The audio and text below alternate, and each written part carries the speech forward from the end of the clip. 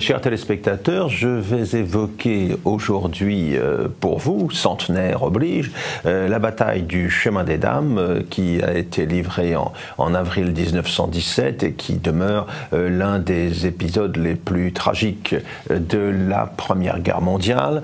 On connaît son, son importance en termes militaires et puis on connaît aussi ses conséquences avec notamment le, phénomène que l'on a baptisé du nom de mutinerie et euh, le changement qui intervient à la tête euh, des armées françaises avec euh, l'arrivée du général Pétain au commandement en chef. Mais revenons quelques mois avant l'épisode en question, à la fin de 1916, comment se présente à ce moment le, le bilan de la guerre. Une guerre que l'on avait imaginée courte en 1914, qui s'est enlisée dans la guerre de position, dans les tranchées, après une année 15 baptisée à juste titre l'année sanglante et qui n'a rien réglé. Les deux adversaires vont tenter en 1916 euh, une épreuve de force de grande ampleur, euh, les Allemands à Verdun, euh, les alliés français et anglais sur la Somme, finalement sans succès. Les deux armées adverses vont s'épuiser mutuellement sans qu'une décision soit finalement obtenue. Et en cette fin de 1916, eh ben, il faut imaginer euh, euh, ce que va être l'année suivante, quels vont être les, les, choix euh, retenus par les, les politiques et, les militaires pour cette année 1917 où tout se passera de manière assez imprévisible, hein, on le sait, avec l'entrée en guerre américaine et puis avec la révolution russe, bien sûr. Alors, il faut d'abord rappeler qu'à la fin de 1916, il y a une crise au sein du haut commandement français. le général Joffre, le vainqueur de la Marne, euh, qui bénéficiait de ce fait d'une extrême euh, popularité, a régné, si l'on peut dire, sur les armées françaises depuis le début de, la guerre, et euh, il est contesté fin 1916 l'échec relatif de l'offensive de la Somme, les efforts considérables fournis à Verdun font qu'il va être écarté. Hein, on va lui attribuer euh, la distinction de maréchal de France, hein, mais il va perdre le commandement en chef euh, en cette fin de 1916. Dans le même temps, euh, des changements aussi au ministère de la Guerre, où le général Lyotet va remplacer le général Roch, qui avait lui-même remplacé Gallieni peu de temps auparavant. Sur le plan politique également, le gouvernement brillant est, remanié à la même époque. Hein. quelles sont les intentions qui sont avancées en cette fin de 1916. Euh, au mois de novembre, à la fin du mois de novembre, euh, au grand quartier général de Chantilly, Joffre, qui est toujours en place à ce moment, a présenté un projet euh, d'offensive pour 1917 qu'il imagine lancer en février sur la Somme, avec le groupe d'armées du Nord, entre la Somme et l'Oise, et puis avec une offensive secondaire confiée à la 5e armée du groupe d'armées du Centre, euh, plus à l'est et déclenché avec 15 jours de décalage par rapport à la première. Mais euh, quelques jours plus tard, Joffre va être remplacé par euh, le général Nivelle, en même temps que Lyotet arrive au ministère de la Guerre. Un, un Lyotet qui est très lucide et très inquiet quant à la situation. Hein. Voici ce qu'il dit dans, dans une note rédigée à l'époque. Demander à une race qui depuis 28 mois donne son sang sans compter de continuer à se sacrifier dans le vide, sans direction, sans boussole et sans pilote, est simplement criminel. Voici ce que dit le ministre de la Guerre à ce, à ce moment-là. Ça, c'est le côté français. Euh, du côté allemand, euh, on sait ce qui est intervenu à l'été de 1916. Là aussi, un changement euh, au sein du haut commandement. Le, général von Falkenhayn, qui avait succédé à Moltke en 1914, a vu son offensive sur Verdun échouer. Il va être écarté, remercié à l'été et remplacé par le tandem Hindenburg-Ludendorff, qui va diriger l'effort de guerre allemand jusqu'à la fin, jusqu'à la fin du conflit. pour les Allemands, les choses sont simples. Ils ont prévu d'engager en 1917 la guerre sous-marine à outrance, avec les, conséquences que l'on sait. Et, et, ils ont prévu de demeurer sur le front ouest sur la défensive. Hein. En effet, ils ont à se battre sur deux fronts. Ils ont un problème d'effectifs, surtout depuis que les Anglais ont instauré la conscription en 1916. Donc, à l'ouest, eh bien, il faut qu'ils tiennent avec 154 divisions contre 190 divisions françaises et anglaises. Pour cela, ils ont prévu de réduire leur front. Ils ont prévu un, repli euh, significatif. Hein. ça, sera mis en œuvre dans le cadre de ce qu'on appellera le plan Alberich euh, au début de 1917, euh, en février-mars 1917, euh, c'est-à-dire que le saillant que constituait le front allemand à l'ouest va être réduit, ça va permettre de limiter la longueur du front, ça va permettre aux Australiens d'un côté, aux Français des armées Fayolle et Humbert de s'avancer vers l'est, de dépasser euh, d'arriver à Péronne, à Noyon. Euh, euh, ça va permettre d'écarter la menace de l'artillerie allemande de Soissons, par exemple. Ça va permettre surtout aux Allemands de gagner une dizaine de divisions et de renforcer ainsi leur ligne de défense qui n'a pas vraiment été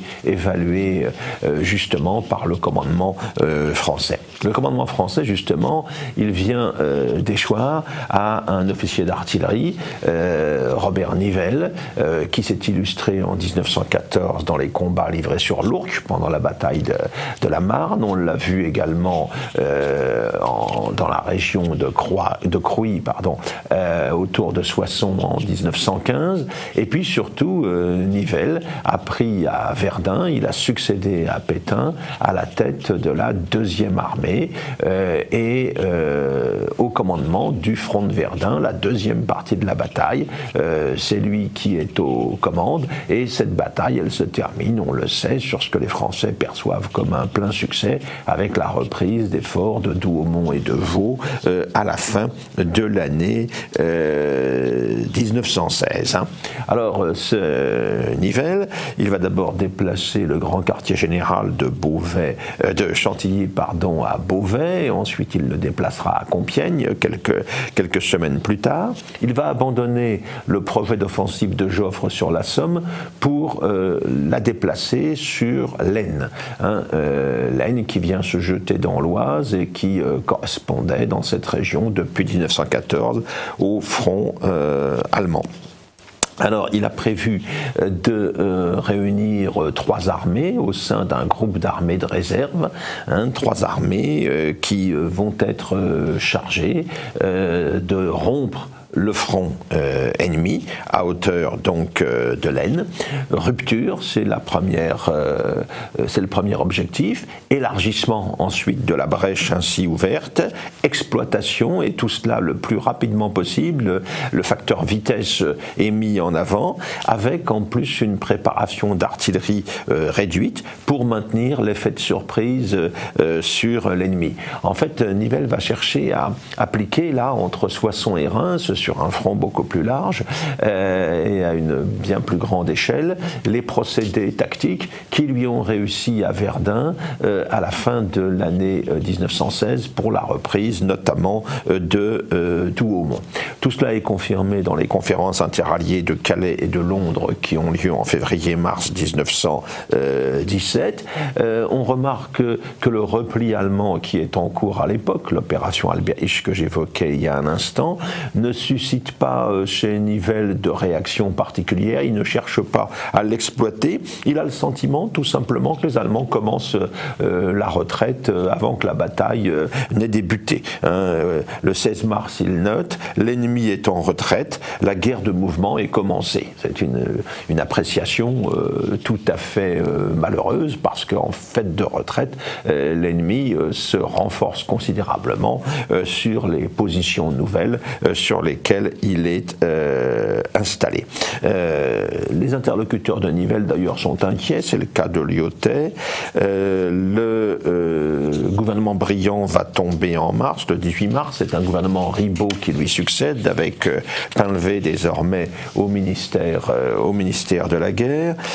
Nivelle impose ses vues, il a auprès de lui comme chef de cabinet un ancien sous-chef d'état-major de la deuxième armée, le lieutenant-colonel d'Alençon, euh, qui, est, euh, qui fait partie euh, de toute cette mouvance du corps des officiers que l'on a appelé les jeunes Turcs au début de la guerre de 14, c'est-à-dire des gens tout à fait attachés au principe de, l'offensive. Et le lieutenant-colonel d'Alençon va, jouer un rôle important à l'état-major de Nivelles durant tous ces mois tragiques du printemps 1917. Sachant que les Allemands euh, ont été très vite au courant des projets français. Ils savent que l'offensive va se déclencher euh, dans la région de Vauclair, de Craon, donc euh, sur la ligne de l'Aisne. Alors, le groupe d'armées de réserve est constitué avec une cinquième armée Mazel sur la droite, plus à l'est, une sixième armée Mangin, hein, euh, et puis derrière une dixième armée euh, qui serait chargée, c'est ce que l'on a prévu, euh, qui sera chargée de l'exploitation de la percée, dont on ne doute pas un instant qu'elle va intervenir. Hein. la tactique retenue, elle est résumée en une formule, la ruée foudroyante. Donc on voit bien qu'on est extrêmement euh, optimiste euh, quant à la rupture de ces lignes allemandes. Hein. il y a deux lignes allemandes qu'il faut emporter, séparées de 2 km. Eh bien, Michler, qui est le commandant du groupe d'armées de réserve, qui regroupe les trois armées que je viens d'évoquer, Michler pense avancer de 6 km euh, au premier choc, et Mangin lui-même rêve d'avancer de 8 à 10 km et de porter ses troupes même dans, dans un seul mouvement jusqu'à Lan, qui se trouve juste à l'arrière du front euh. Alors les choses ne sont quand même pas aussi simples. Le 6 avril, il y a une conférence au Grand Quartier Général euh, installée désormais à Compiègne. Euh, tous les responsables sont là, le président de la République, Poincaré, le président du Conseil, Ribot, le ministre de la Guerre, Pinlevé, le ministre de l'Armement, Albert Thomas, le général Pétain, commandant le groupe d'armée du Centre, le général Michler, commandant le groupe d'armée de réserve chargé de l'action. Ben, beaucoup sont extrêmement réservés et prudents. Hein, C'est le cas de Pinlevé, euh, qui euh, présente quelques réserves, mais Nivelle est très sûr de lui. Hein. Il explique qu'il faut devancer le renforcement allemand qui va forcément survenir après les événements de Russie. Hein. Il y a eu la révolution de février en Russie. Euh, le, danger russe est beaucoup plus faible maintenant pour l'Allemagne, donc les Allemands vont pouvoir ramener vers l'ouest une partie de leurs forces. Il faut anticiper et euh, leur infliger une défaite significative avant que cela intervienne. Et il ne faut pas se contenter d'une demi-bataille, dit-il, euh, comme l'a été par exemple l'offensive d'Artois euh, en 1915. Pétain est extrêmement critique, lui, c'est un véritable réquisitoire qu'il présente contre le projet donc de Nivelle, mais celui-ci va mettre sa démission dans la balance et finalement, eh bien, c'est son choix qui va euh, s'imposer.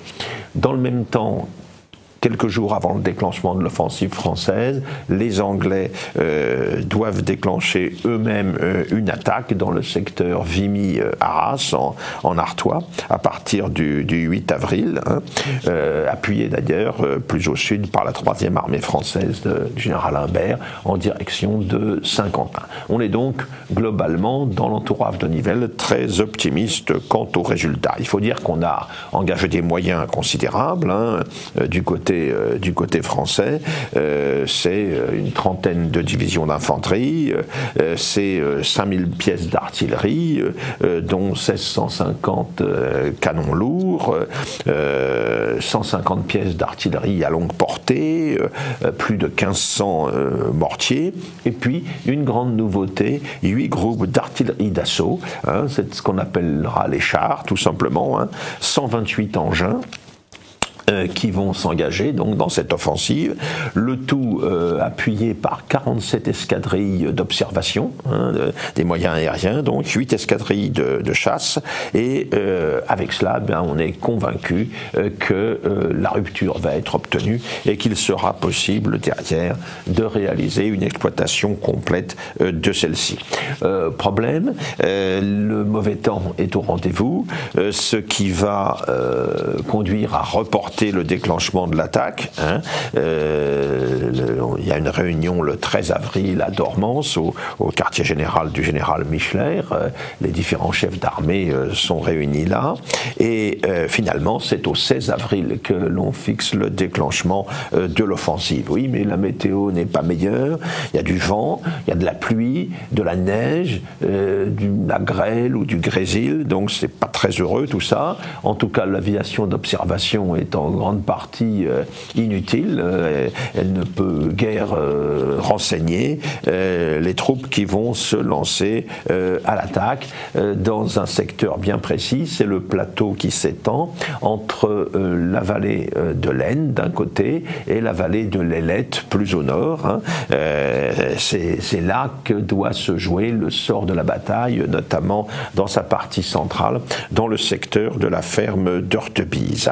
Du côté on a deux armées qui sont sur la défensive, euh, qui sont euh, bien installées en défensive, notamment euh, dans les abris naturels que constituent les grottes qui sont dans la falaise qui domine la vallée de l'Aisne, hein, ces, grottes que l'on appelle les creutes, hein, où on a pu dissimuler des mitrailleuses notamment pour briser l'assaut des fantassins français. Alors l'attaque est, est lancée, la sixième armée dans le secteur de Vailly, entre Lafaux et, et Soupir, mais elle est stoppée euh, à Cerny, au Bois du Paradis.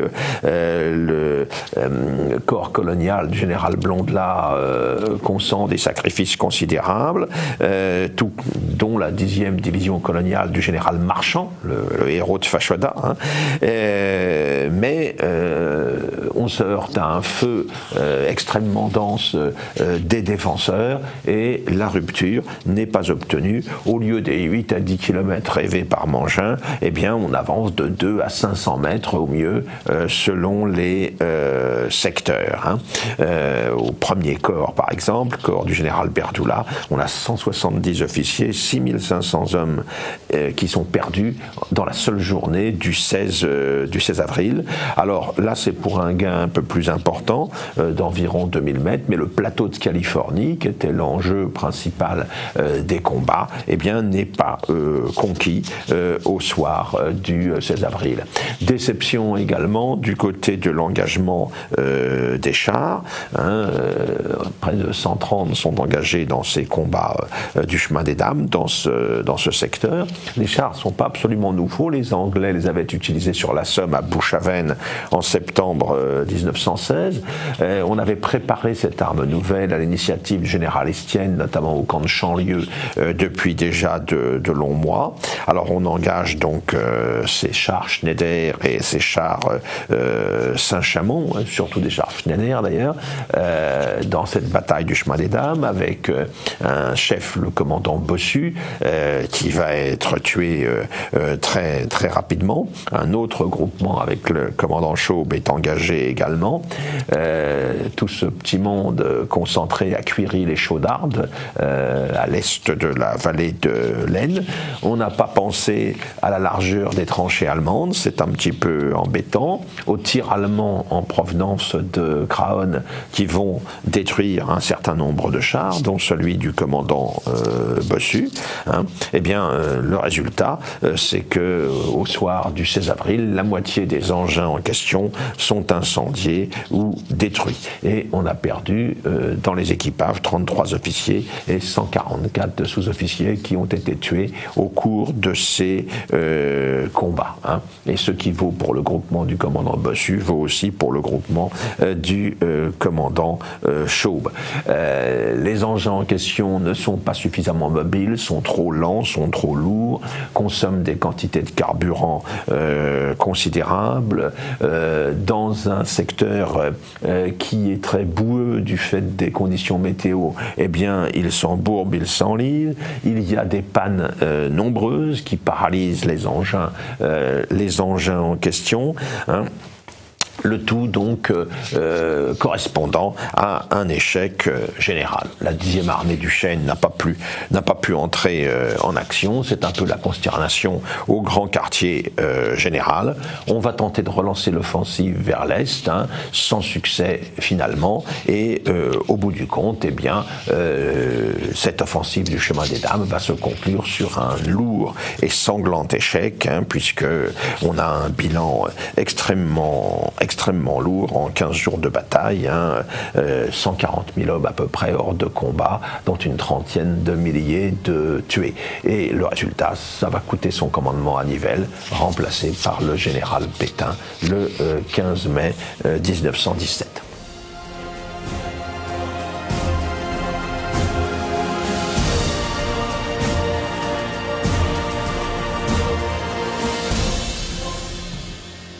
Je vais vous parler d'une affaire criminelle qui s'est passée en 1923 et dont on parle encore car le mystère reste entier. Il s'agit de l'affaire Seznec. Alors l'affaire Seznec, tout le monde en a plus ou moins entendu parler. Qui est Guillaume Seznec Eh bien, c'est un breton, bien sûr, un breton né en 1878 dans un tout petit village à côté de Châteaulin, euh, dans la presqu'île de Crozon. Euh, il, est né à Plomodierne, il est né dans une famille d'agriculteurs. C'est quand même une ferme assez importante puisqu'il y a sept valets de ferme et deux servantes. Et euh, le père meurt très, vite quand le, le petit Guillaume a 5 ou 6 ans. Et c'est la mère qui va prendre la suite et qui va continuer les travaux de la ferme avec beaucoup de courage. Et elle aimerait bien que ce petit Guillaume devienne prêtre. Euh, il est sérieux, c'est un garçon euh, euh, intelligent, mais très renfermé.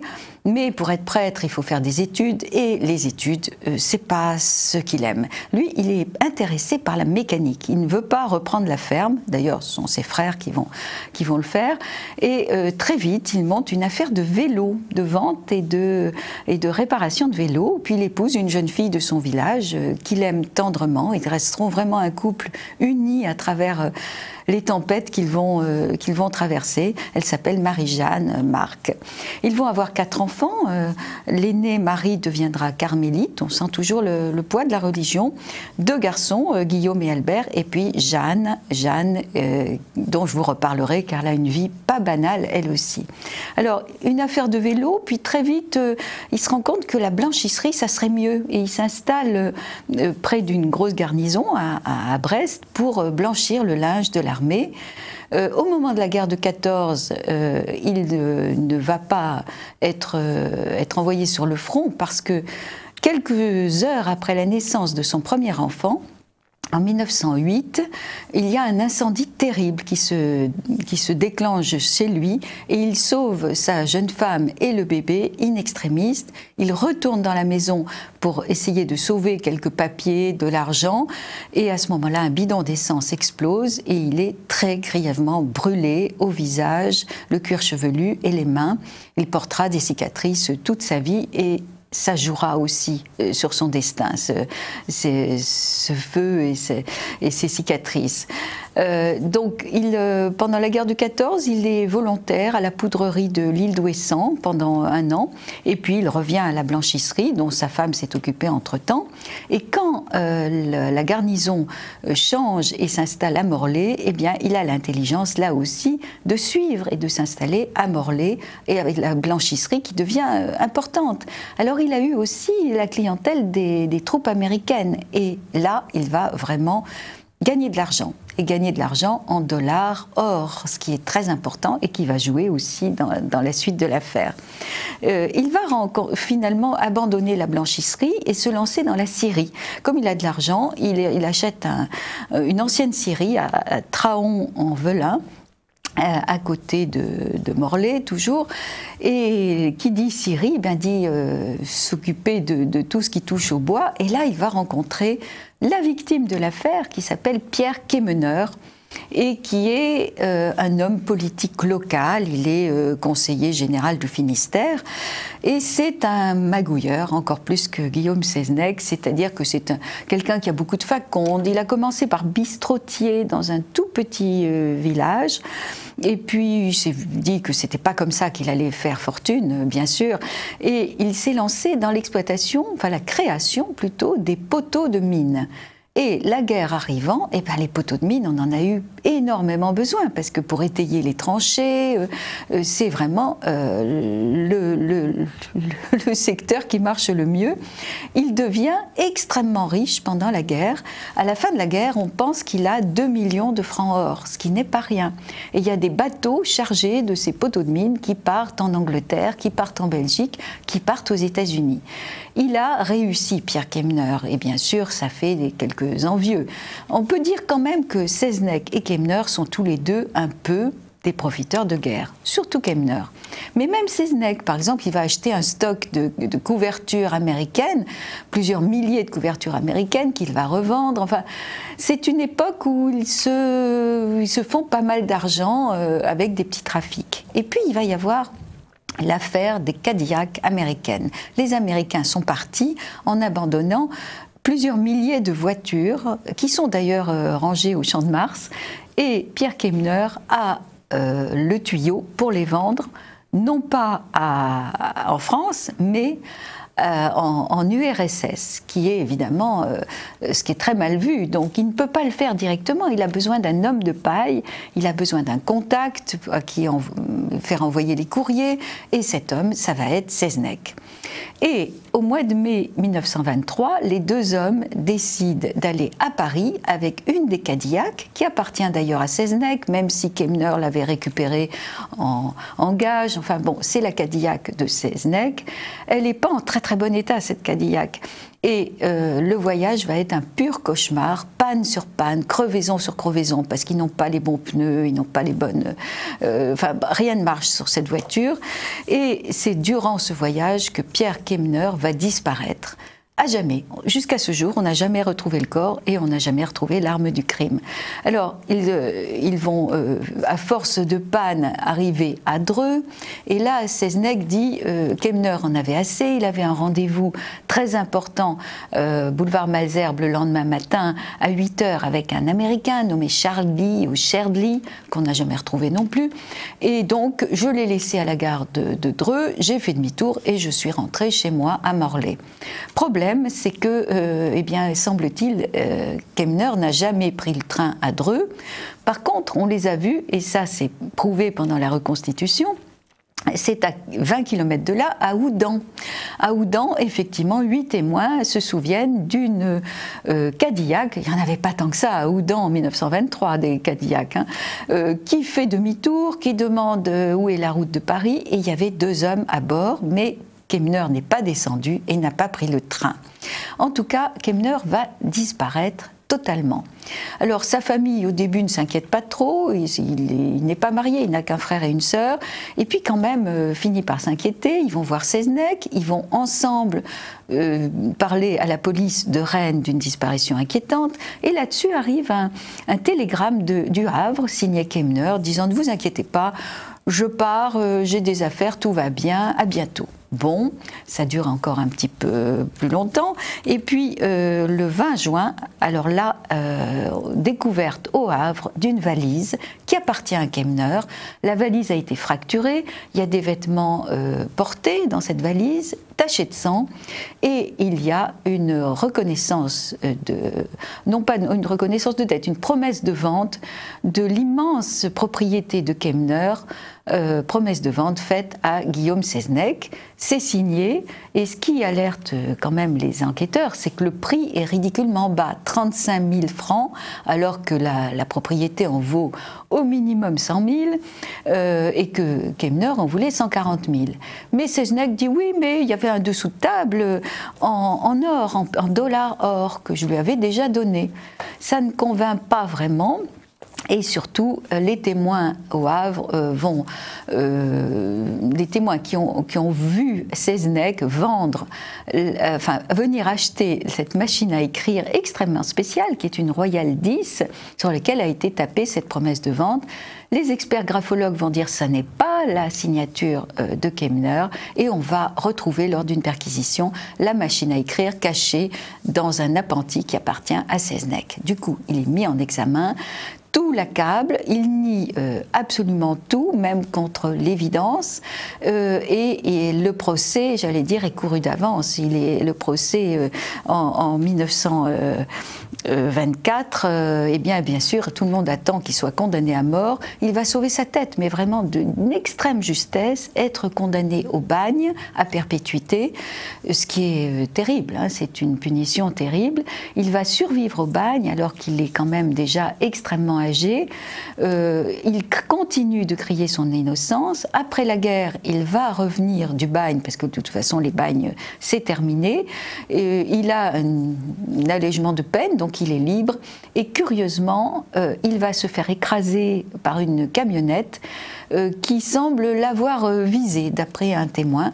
Bref, l'histoire pourrait se terminer là, mais pas du tout. Sa fille Jeanne qui entre-temps a assassiné son mari, qui était un des témoins à décharge de l'affaire.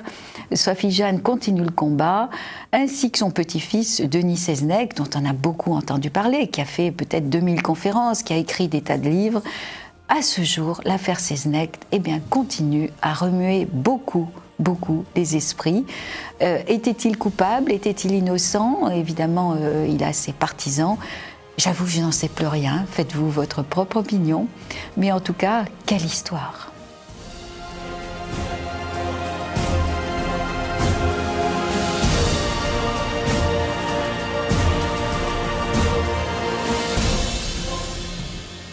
Alors nous recevons aujourd'hui deux invités.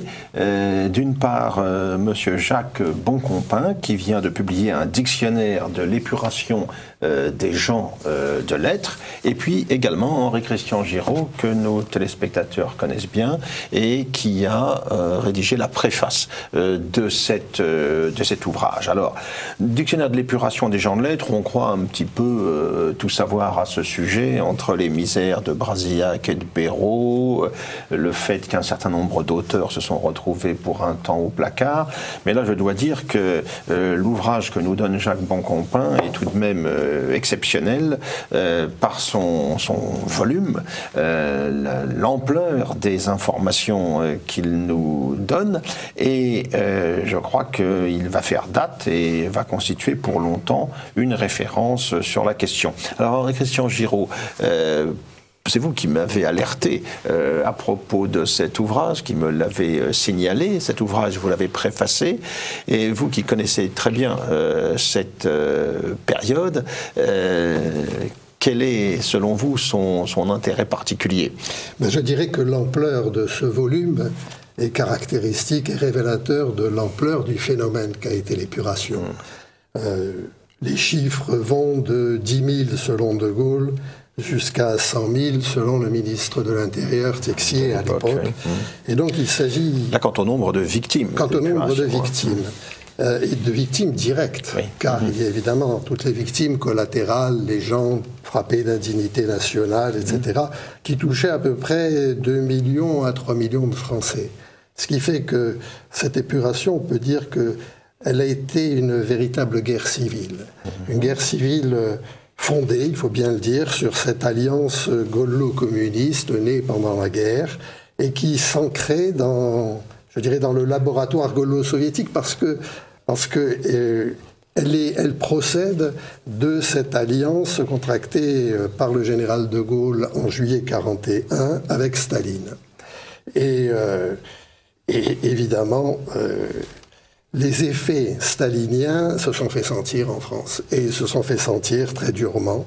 Et ce livre révèle, le, je dirais par, par l'ampleur et, et, le nombre des, des, auteurs dramatiques mis sur le grill idéologique, euh, révèle le, le, côté pernicieux, le côté pervers et le côté terrible pour, euh, pour ce qui a été une atteinte à l'intelligence française. Et depuis, eh bien, je crois que la pensée nationale en a été euh, toute mise, toute bousculée, et euh, nous sommes un peu les héritiers de ce désordre intellectuel.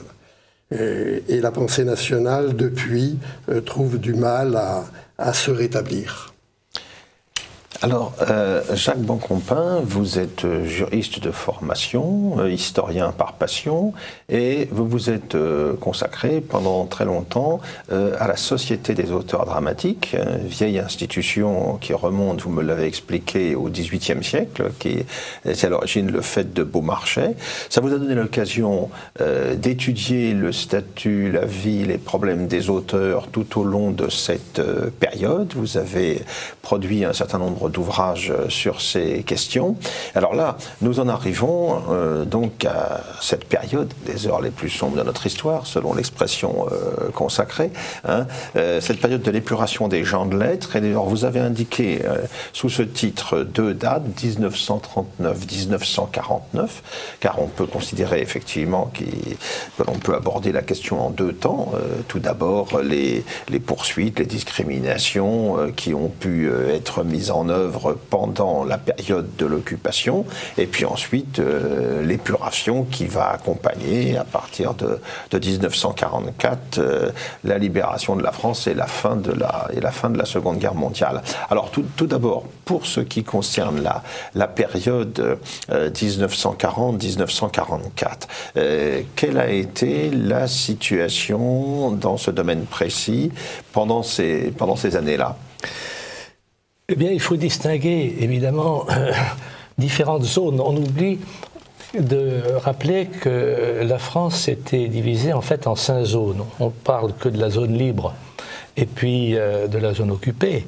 Mais il y avait l'Alsace-Lorraine qui avait un statut particulier. Il y avait aussi les départements du Nord qui étaient rattachés à Bruxelles.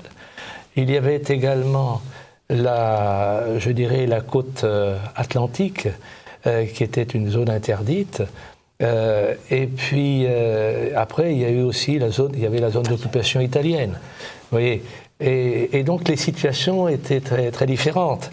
Et y compris sur le plan politique, où on considère aujourd'hui, sans tenir compte des réalités, que le gouvernement de Vichy avait une connaissance parfaite de la situation dans l'ensemble de la France. Euh, ce qui n'était pas le cas. Le pasteur Wagner euh, remarquait d'ailleurs souvent que le maréchal Pétain était le moins bien informé presque de, ce qui se passait. Et euh, donc, d'où, où, est-on Comment, comment, comment fait-on? Les sociétés d'auteurs ont une attitude différente. Pour la Société des auteurs dramatiques, quand le front a été rompu, elle s'est repliée euh, dans, le Midi, voulez, à Montauban, et euh, avec les services, qui fait que c'était une, organisation remarquable, puisque même pendant cette période-là, les auteurs ont continué à recevoir leur argent. C'était un miracle d'organisation. Euh, L'Assasem eh a décidé de rester sur place, comme la Société des gens de lettres, et dans le livre, je raconte euh, comment les choses sont passées euh, pendant cette première période. Et puis, lorsque les choses sont rentrées dans l'ordre, lorsqu'il y a eu, si je peux dire, il y a eu l'armistice, à ce moment-là, une, grande partie de ceux qui avaient fui Paris sont revenus. Euh, sauf, je dirais, pour les, les Juifs qui étaient interdits de regagner euh, la zone occupée. Hein. Euh, voilà. Alors, la Société des auteurs, elle, c'est son, président. Euh, il est revenu à Paris. À peine était c'était Charles Méret, qui était producteur de films, auteur de films, auteur de théâtre. C'était un homme éminent qui avait déjà présidé la Confédération internationale des sociétés d'auteurs, qui, à l'initiative de l'ASACD, avait confédéré toutes les sociétés d'auteurs du monde pour qu'elles se représentent les unes les autres, ce qui fait que dans un pays, la société locale ne représente pas seulement les nationaux, mais également tous les auteurs étrangers qui sont représentés par d'autres sociétés, et réciproquement, vous voyez. Et en même temps, ça permet aussi, puisque souvent les États sont les premiers usagers, longtemps, pardon, la télévision en France a été un monopole d'État. La radio, c'est pareil. Donc, une société d'auteurs locale est de peu de pouvoir vis-à-vis d'un État. En revanche, si cette société représente le répertoire mondial, elle a à ce moment-là, euh, je dirais, un crédit euh, plus important. Euh, donc, à la commandature, le généralement qui a reçu Méret lui a demandé immédiatement de lui livrer la liste complète de tous les sociétaires israélites de la SACD. la même chose s'est passée à la SACEM. Et là, il y a eu un refus net. Euh, ensuite, si l'on prend Paris, vous savez, euh, sur un plan général, euh, au Paxton et d'autres historiens considèrent que c'est ce sont les autorités françaises qui ont pris l'initiative de, euh, je dirais, euh, stigmatiser les juifs, de créer un statut euh, vis-à-vis des juifs, de les distinguer des autres citoyens. Or, dans les faits, les choses sont, très différentes, hein, très différentes. Et il faut savoir que s'agissant de l'Alsace-Lorraine, immédiatement, le statut des juifs en Allemagne a été étendu en Alsace-Lorraine. Les lois de Nuremberg toute la, dépossession, euh, l'interdiction d'exercer des professions, c'était immédiatement cela. Et donc, le gouvernement français le savait. Hein. Et euh, s'agissant du spectacle, en tout cas, immédiatement, les Allemands ont interdit de se produire les acteurs israélites sans aucune intervention du pouvoir français, euh, et, y compris les œuvres d'auteurs israélites. Ce qui fait que quand euh, à l'atelier il y a la reprise du bal des voleurs, le problème se pose de l'utilisation de la musique de scène de Darius Milhaud. Alors il va y avoir des discussions parce que les lois euh, à la Société d'auteurs sont très strictes. Il y a un bulletin déclaration qui est la fiche d'identité d'une œuvre. La musique peut être facultative ou obligatoire. Si elle est obligatoire, on ne peut pas jouer une autre musique sans l'accord du compositeur. Et la pièce sera reprise, et en fait c'est Georges Auric, euh, qui, euh, lui, n'était pas concerné, qui va signer la musique.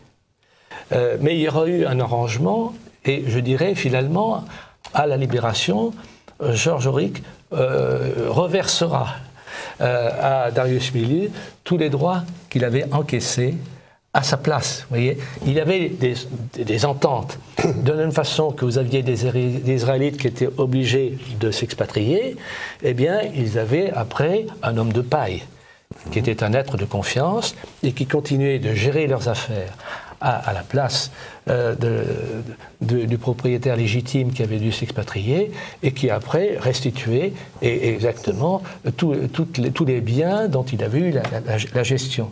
Alors l'attitude de la société des auteurs va être une attitude légaliste et de continuer à préserver l'égalité de tous ses membres, puisque cette société a été fondée par Beaumarchais au XVIIIe siècle. C'est la deuxième génération des philosophes. Et à travers un conflit singulier entre des auteurs et la comédie française, qui volait les auteurs, puisque dans le règlement établi par Louis XIV, il y avait le neuvième de la recette, déduction des faits, qui revenait aux auteurs. Donc les gouvernements français ont fait tout ce qu'ils ont pu au fil du temps pour limiter l'assiette sur laquelle la perception s'effectuait. Et comme souvent en France, avec la loi sur les portes et fenêtres, la fiscalité se traduit par parfois des modifications matérielles.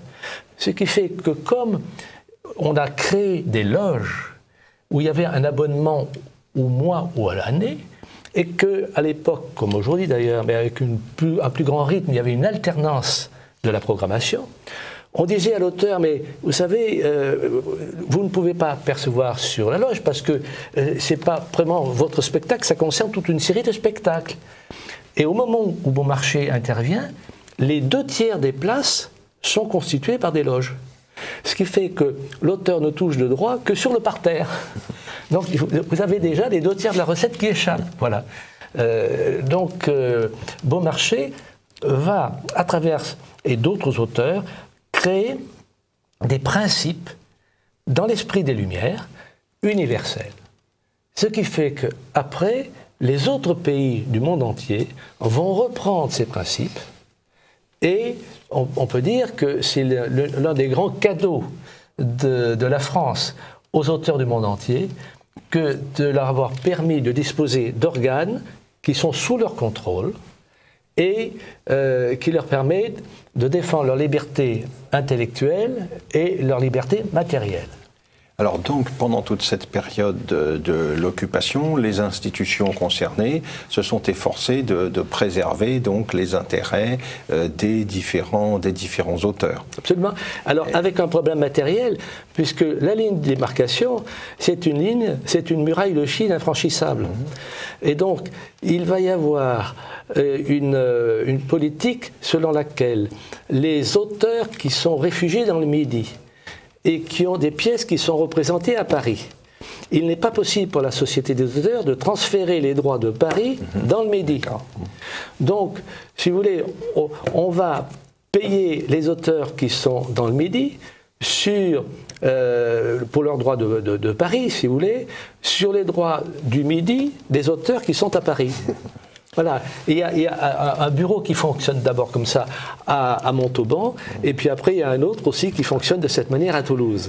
Et alors pour ce qui va concerner l'épuration euh, qui va se mettre en place en 1944, je crois qu'elle a des, origines euh, plus anciennes. On commence à l'imaginer et à la penser en amont euh, dès l'époque du gouvernement d'Alger. Alors, oui, et, je dirais même plus loin, j'ai un Pétain de Gaulle à venir qui est terminé. Euh, il me paraît que, euh, suivant cela, euh, Raymond Aron, qui disait appel du 18 juin, message magnifique, universel. appel du 22 juin, discours d'un chef de parti. C'est-à-dire que finalement, très vite, le, général de Gaulle euh, crée un clivage entre ceux qui les suivent et les autres. Donc d'une certaine manière, dans l'esprit du général, devront rendre compte tous ceux qui ne l'ont pas suivi dès le 18 juin. C'est ça, dès, la il, y a, il y a déjà, avec ce point particulier, c'est que pour le général de Gaulle, euh, la culture et les auteurs, c'est l'âme de la France. Donc d'où l'importance de l'épuration des gens de lettres, qui aura fait l'objet d'une attention beaucoup plus grande que pour les entrepreneurs qui ont mhm. contribué à la construction du mur de l'Atlantique. Donc, disons, c'est presque le jardin secret du général qu'on que, qu'on constitue, si vous voulez, le, milieu des, des, auteurs. Mhm. Et vous savez à quel point il sera disons, euh, tenace vis-à-vis de Paul Morand auquel il ne pardonnera jamais de ne pas l'avoir euh, rallié à Londres alors qu'il se trouvait à Londres mhm. et qu'il est rentré et il s'opposera pendant un certain nombre d'années à son admission au sein de l'Académie française. Mhm. Voilà. Alors Alger, c'est en, septembre qu'il y a un comité d'épuration qui est créé. Septembre 43, donc. 43, et qui euh, euh, agit essentiellement d'abord vis-à-vis des militaires. Encore que, il faut savoir aussi que, à peine arrivé euh, en Algérie, le général de Gaulle euh, frappe d'interdit euh, l'œuvre de Saint-Exupéry. Mhm. Parce que Saint-Exupéry était nationaliste, il, il était anti-allemand très violemment, mais il considérait que le général de Gaulle et les gaullistes étaient préoccupés uniquement par la prise du pouvoir, plus que par l'intérêt pur de la France. Euh, et, en plus, il avait eu un succès considérable euh, aux États-Unis avec la publication de Pilotes de guerre. Mmh. Et il y avait presque une, rivalité un peu littéraire qui s'ajoutait euh, à la rivalité politique. Et alors, cette, euh, ce projet euh, d'épuration qui est donc euh, conçu en Algérie dès la fin de 1943, comment va-t-il se, se, mettre en œuvre à partir de la, à partir de la libération? Qui est visé? Quels sont les, les différents niveaux de la sanction que l'on entend infliger aux, aux suspects Disons que la défaite a été telle, pour venir qu'il y a eu un choc extraordinaire, extraordinaire. Euh, certains, euh, s'agissant du conflit euh, israélien, si vous voulez, après la guerre des six jours, les Palestiniens ont été tellement assommés que pendant près de deux, ou trois ans, ils n'ont pas réagi. Il n'y a, pas eu, a pas eu de résistance sur place. Les gens étaient absolument assommés. Et il faut garder ça à l'esprit que même certains auteurs, je ne vais pas citer, quand euh, il y a la contre-attaque à Bastogne, ils ont l'impression que les Allemands vont vraiment revenir. Euh, la, rapidité de l'offensive allemande euh, a été si grande, leur succès ailleurs, si généraux, que pour eux, ce n'est pas une question de vouloir collaborer, c'est simplement qu'ils ont le sentiment qu'ils sont invincibles. Et que puisqu'ils vont rester longtemps, peut-être pas mille ans, eh bien, autant trouver le moins mauvais arrangement avec eux pour essayer de tirer sur l'épingle du jeu. Hein, ça explique mmh. euh, l'attitude de beaucoup, de beaucoup de personnes. Alors, déjà, il y a une épuration qui va se mettre en place un petit peu dans, euh, sur le, à, partir de, l'arrivée des Américains, le débarquement des Américains euh, en Afrique du Nord, qui laisse penser que, à terme, la France sera libérée. Et alors là, vous avez dans tous les secteurs, que ce soit le cinéma, que ce soit le théâtre, que ce soit la littérature, vous avez des auteurs qui se réunissent et qui commencent à dresser des listes pour pouvoir intervenir au jour J. Hein. et, euh, et, il va y avoir plusieurs critères euh, pour euh, sanctionner cette, épuration qui vont être définis euh, par les gaullistes et, je dirais, principalement par les communistes. Ce que j'ai découvert en lisant les, archives du gouvernement, c'est qu'un organisme comme le Front National, à l'époque, qui était un fauné du Parti communiste, a dicté les critères de l'épuration. Euh, la Société des gens de lettres va faire de l'autogestion. Elle va choisir l'un des leurs qui est un général, le général Hazan, qui a écrit euh, sur Abdelkader, qui a écrit sur l'Afrique, et qui est entouré euh, d'un certain nombre d'assesseurs, et qui est là pour dresser des dossiers. Et souvent, ces dossiers sont lancés à l'initiative de sociétaires dans l'Assemblée générale. Il y a quelque chose un peu de tribunaux populaires au moment de la révolution, de, la révolution, si vous voulez.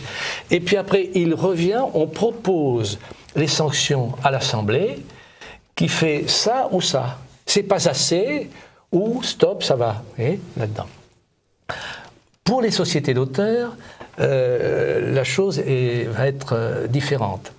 Euh, à peine le gouvernement est-il arrivé, que euh, j'ai trouvé dans les archives d'Édouard Bourdet une liste qui avait été dressée par, euh, je dirais, euh, le pouvoir gaulliste, avec ce titre Personnalité arrêtée immédiatement. Immédiatement, c'est-à-dire dès qu'il y avait une maîtrise de la capitale, il fallait un petit peu comme les Allemands, avaient, dans un autre sens, dressé une liste des personnes à arrêter immédiatement euh, dès qu'ils sont arrivés à Paris. Alors vous aviez Abel Bonnard, vous aviez euh, Bernard Fay, euh, Robert Valéry Radio, vous aviez Monterland, vous avez Madame Chanel, chaque fois avec l'adresse hein, qui, qui, est à côté. Vous aviez Chardonne, et vous avez là une liste de personnes où au crayon, Édouard Bourdet avait mis une croix en face, c'est-à-dire que c'était des personnes euh, que lui, étant chargé de procéder à cette épuration, il avait été appelé par Capitan, ministre mmh. de l'Éducation nationale, pour la délégation au spectacle. Donc c'est lui qui a contribué, qui venait de la Société des auteurs, qui avait été administrateur de la Comédie française. Eh bien, alors vous avez Madame Germaine Lubin, Madame Aretti, Madame Sacha Guetry, Madame Alice euh, Cossea, vous aviez Alfred Cortot et Pierre Freinet. Et là, évidemment, c'est des amis à lui. Donc, il avait une croix pour dire attention, cela, je vais essayer d'arranger le coup pour, pour qu'il soit euh, frappé le moins possible. Vous voyez déjà, il y, avait donc une préparation. Mauriac a commencé par une, tricoteuse. Mauriac, dans, euh, sous, l'occupation, je dirais en 42-43, euh, envisage la peine capitale. Il dit à ce moment-là, je comprends à ce moment-là euh, je dirais, euh, le, slogan de la Révolution française, liberté, égalité, fraternité, ou la mort. Ou la mort. Pas de liberté pour les ennemis de la liberté. Et c'est un peu ce qui va sous-tendre cette épuration, reprise à la fois par les gaullistes et par les communistes pour les ennemis de classe, hein, et d'éliminer tous ceux qui ne pensent pas comme eux ou de les faire taire. Épuration qui vise des gens dont l'engagement a été très, très différent. Là, on, évoque Abel Bonnard, par exemple, euh, euh, mais Abel Bonnard, Pierre Freinet, c'est pas le, même niveau euh, de, suspicion qu'on peut avoir contre eux. je, discutais avec Janine Enoch. Janine Enoch a été l'épouse de Jacques Enoch, grand éditeur de musique. Euh, israélite et, qui a dû euh, fuir, euh, se cacher en Savoie. Et il y a eu un administrateur, disons, comme c'était pour les biens juifs dans ces cas-là, qui a été désigné. Et tous n'étaient pas des crapules, puisque c'est un acte qui a été remarquable. Et quand Enoch est revenu, il a retrouvé sa maison d'édition impeccable et il n'y avait pas un sou qui, qui, qui, a, qui a, été mhm. détourné contre lui. Et bon, Dieu sait qu'elle elle pouvait avoir des, des raisons de d'être sévère pour euh, l'époque que, nous étudions. Et elle considérait que ça a été effroyable et que seules les personnes qui avaient dénoncé, qui avaient du sang sur les mains, auraient dû être poursuivies. Tout le reste, ça a été des poursuites pour délit d'opinion. Essentiellement, c'est le délit d'opinion. Il, il, ne pensait pas comme il aurait fallu penser. Et on oublie aussi que la mentalité n'était pas la même à Londres qu'en France un petit peu comme au moment de la Révolution, vous aviez les émigrés de Koblenz et ceux qui avaient vécu la Révolution. Nous arrivons à la fin euh, de notre émission. Euh, merci beaucoup Jacques Boncompin pour tous ces éclaircissements concernant cette époque particulièrement intéressante, les heures les plus sombres de notre histoire.